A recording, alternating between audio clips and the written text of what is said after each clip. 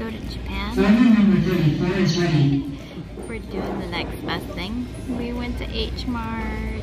Yay, love H Mart.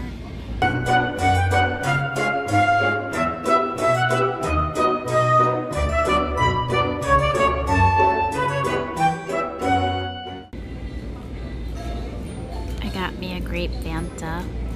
For some reason in Animal Crossing, all the all the villagers are always drinking Fanta. I don't know why.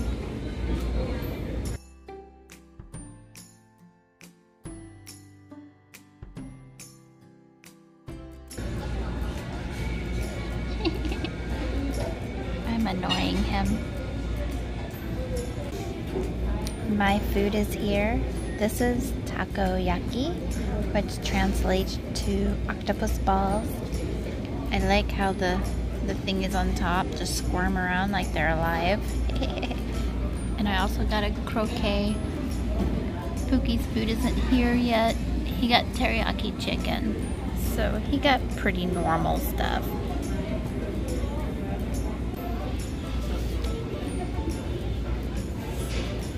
See the octopus in there?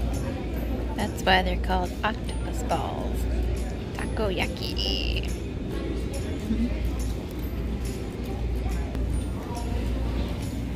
Pookie's meal finally came. It's a lot more than he was expecting. Time to go shopping. Yay! Look at all this ramen. It goes on forever.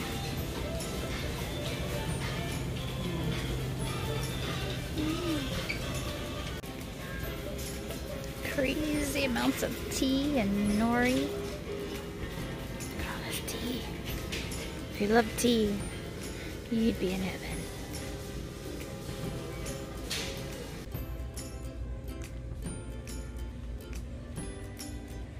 My favorite. It's a shabu shabu bowl. Pookie loves shabu shabu.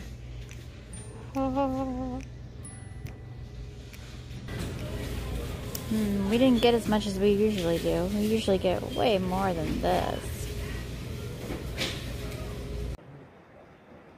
I wanted to film more while we were in H Mart, but you know, people are shopping. I don't want to be annoying.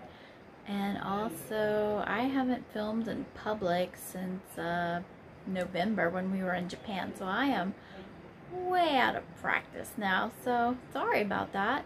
But I hope you enjoyed a quick look at what H Mart is like.